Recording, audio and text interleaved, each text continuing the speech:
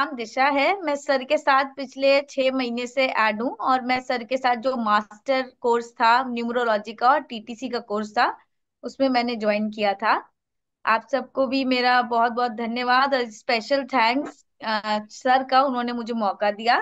तो आज हम लोग जो भी पढ़ेंगे, वो पढ़ेंगे कार न्यूमरोलॉजी, जिसे हम व्हीकल न्यूमरोलॉजी भी कह सकते हैं। व्हीकल माने जो भी आपके व्हीकल्स हैं और जैसे कार है स्कूटी है बाइक है आप उसके नंबर को कैसे जज करें? क्या नंबर यूनिवर्सल है क्या रेमेडीज है या जो है उनको कैसे रेमेडी से आप सही कर सकते हैं? यहाँ पे मैं आपको बताने की कोशिश करूँगी। ठीक है? तो अब हम आगे चलते हैं। अब आते हैं हम सम नंबर तीन पे। सम नंबर तीन फैमिली के लिए बहुत अच्छा होता है। छोटे काम करना जैसे ऑफ़िस जाना ऑफ़िस से घर आना फैमिली यूज़ के लिए यूज़ करना अगर ऐसा है तो आपका सम नंबर तीन बहुत अच्छा है उसके लिए। लेकिन उसके साथ एक आ, उसके साथ आपके साथ एक कंडीशन आती है। अगर आपके लोशु ग्रिड में थ्री है टू है सेवन है तो तीन आपको और ज़्यादा अच्छा रिज़ल्ट देगा फैमिली यूज़ में। ठीक है? उससे आपको नुकसान नहीं होगा और फैमिली यूज़ में बहुत अच्छा रिज़ल्ट देगा।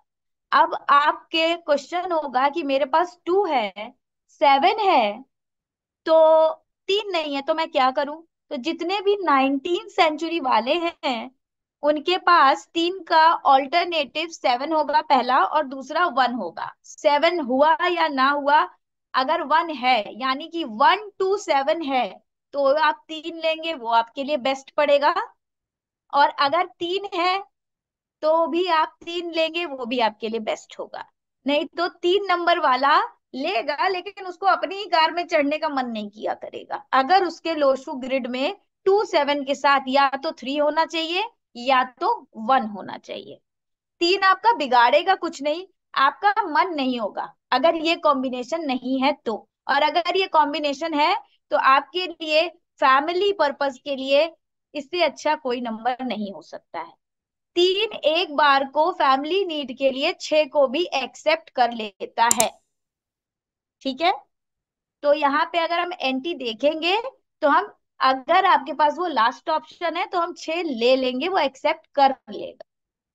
लेकिन हम वैसे अवॉइड करें। ठीक है? अब आते हैं नेक्स्ट पे। वो है हमारा सम नंबर फोर ठीक है? सम नंबर फोर जो होता है, वो फैमिली यूज़ के लिए बिल्कुल भी अच्छा नहीं होता है। यहाँ पे मैंने मेंशन किया हुआ है, वो एक एक्सीडेंट प्रोन होता है। मतलब एक्सीडेंट होने की संभावनाएँ उसमें लगी रहती है। कमर्शियल यूज़ के लिए हम चार नंबर का सम ले सकते हैं। कमर्शियल यूज़ में हम चार नंबर का सम कब लेंगे? जब हमारा जो काम है वो भी राहु से रिलेटेड होगा। स्मगलिंग किसी का ठेका है, किसी का ब्लैक का काम चल रहा है, ऐसे में अगर हम सम फोर लेंगे ना तो वो आपको पैसा ही देगा, वो आपको सक्सेस ही देगा। लेकिन अगर आपने फैमिली यूज़ के लिए कार ली है और उसका सम फोर आ रहा है तो आप एक्सीडेंट प्रोन के साथ साथ आपको व्हीकल में प्रॉब्लम दिखेगी। अगर किसी का है तो वो अपने आप उसको जज करके बोल सकता है। अब मैं नेक्स्ट जाती हूँ। Sum number five. वैसे तो सम नंबर फाइव एक यूनिवर्सल नंबर में आता है। कि आप फाइव ले लोगे? और क्या कहते हैं कि वो आपको अच्छा करेगा।